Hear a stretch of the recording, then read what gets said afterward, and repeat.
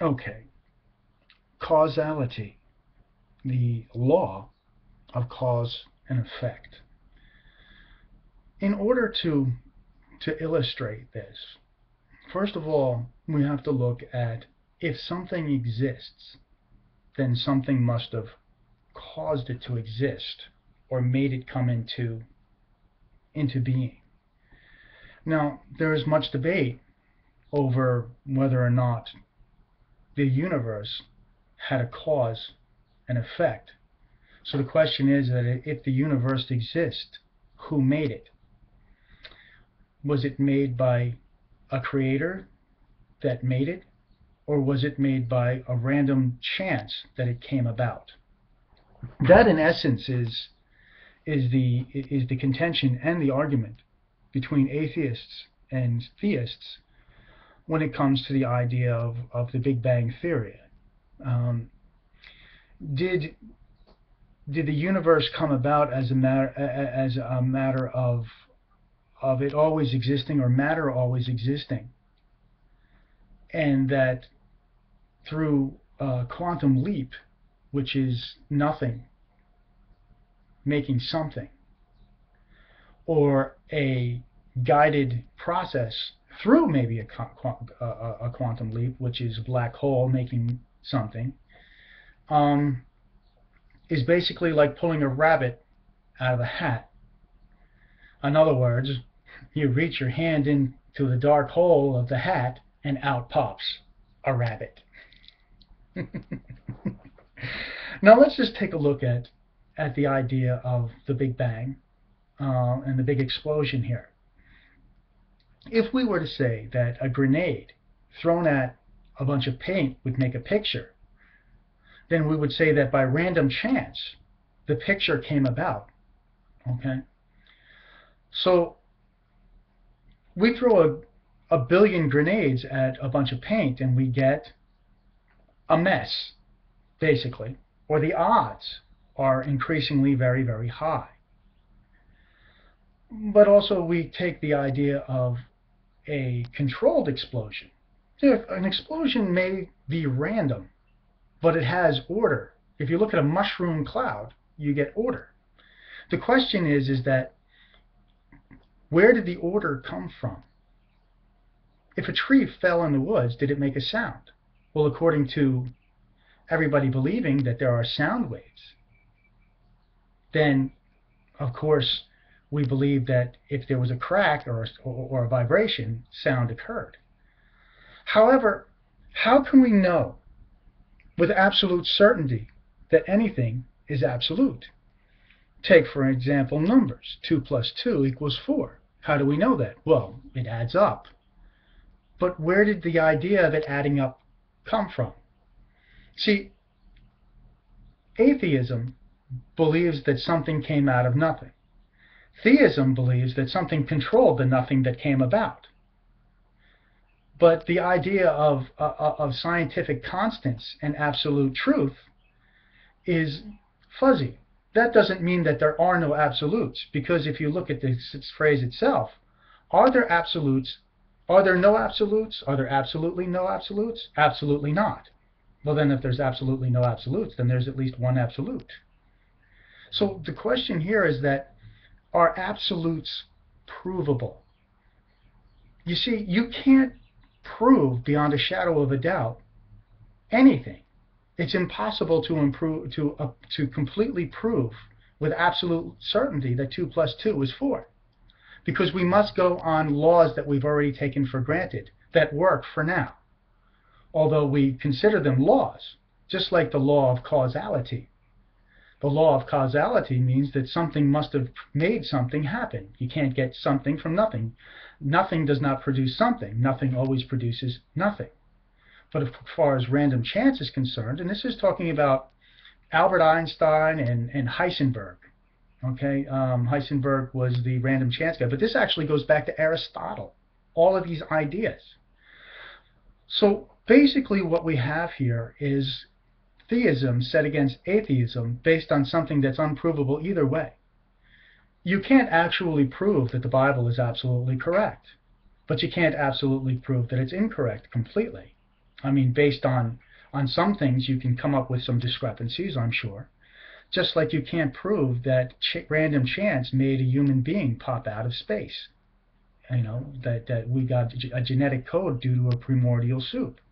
It's all theoretical, and it will always be theoretical.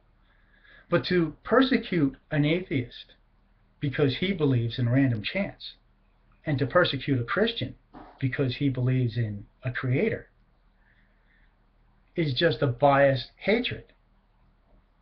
Either way. So my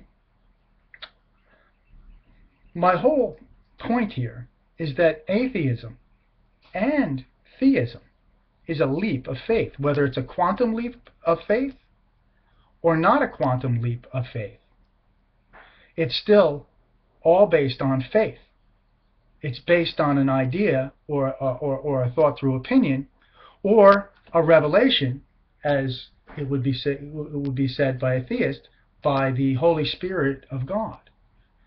So we must go on what we see.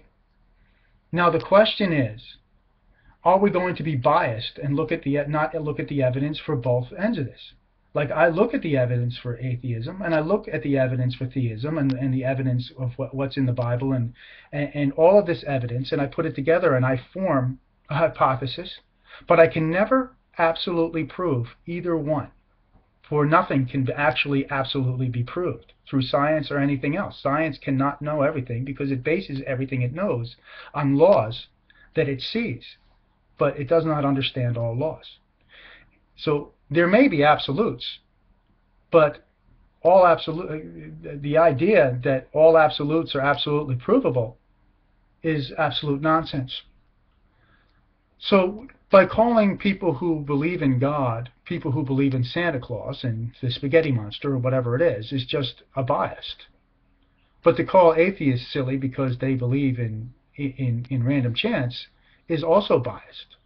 So the, the question here, are we going to get over our bias and start to look at what's there and then live and let live according to what people believe instead of calling people totally unintelligent, uninformed, because this this is now a political thing that, that atheists do that's quite appalling.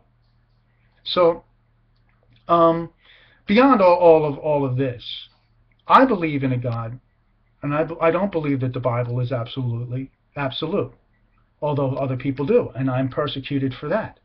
There are some stories in the Bible, like the rape that happened in Judges 21. I don't think that it, it may have occurred, because I know that there's a story about the Sabine woman from Rome, and it's very like the story that's in Judges.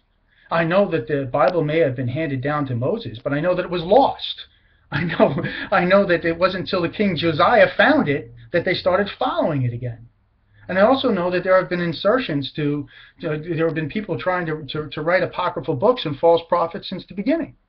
That doesn't mean that I discredit the total Bible, because the Bible also says that they will look upon me whom they pierced. Maybe hundreds of years before Jesus came, it was told that the Jews would not believe in a Messiah that was going to be pierced. So, the Psalms talk about a crucifixion very clearly. And here it is, the Jews reject it. See, there are certain things that are in the Bible that uh, were written that came to pass pro prophetically that make me believe that, that, that the Bible is true. Whether, whether it's true that God, that everything that was written in there doesn't matter to me. What matters to me is that it was like somebody wrote in the newspaper back in the 1700s that the stock, that, that Black Friday would happen. I mean, or, or, or was it Black, what was it, um, the, the stock market crash I call it Black Friday because of Christmas is a, is a Monday, right? Uh, I'm not sure, but anyway, basically, um, you know, if if something that was written in a whole bunch of books that may have insertions in it or problems with it tells the future, like right on the button, then that makes me think that there's evidence for me to have to put credence in it. Um, and then what happens politically, and there's a lot of reasons for me to believe that what was written back there had some pertinence to what happened in the future. I I know that a lot of people have some qualms with me for it, but it makes a lot more sense because there's a lot of objection through by atheists uh, uh, especially uh, some of the things that were written, such as the rape that happened in, in Judges. Now, so what I'm saying here is that that I believe in God based on on on logic. I also believe that God revealed Himself to me through uh, uh, three pennies. Now, whether you believe that's silly or not, I can tell you the whole story how it happened. But you see, it doesn't matter because all of everything is a leap of faith. It's a leap of faith, a religious type. Re, re, it's not religion. No, I'm not saying atheism is religion because there must be a God involved, but it is a religious type leap of faith. Because look how look how incredible the odds are for something coming from nothing. Just as it's a, a, leap of faith for a Christian to believe that there's a creator that made nothing come out of something or something come out of nothing. So either way, either way, it's faith that determines everything. Now, a lot of people will blindly believe in faith. I don't believe in blind faith. I believe that God does reveal things. I believe God has revealed things, but He doesn't make my faith blind. I should be able to argue on a, a, a, from physics. I should be able to argue from philosophy. I should be able to to to have the mind to be able to defend or or not defend what is written in the Bible, or at least defend what I think is axiomatic or not axiomatic based on prophecy. And and that is what I do. So I, am interested in your comments, but as usual, since I have a lot of people who are hateful, I will I will leave the comments uh, up to my discretion. Uh, thank you. Have a great day.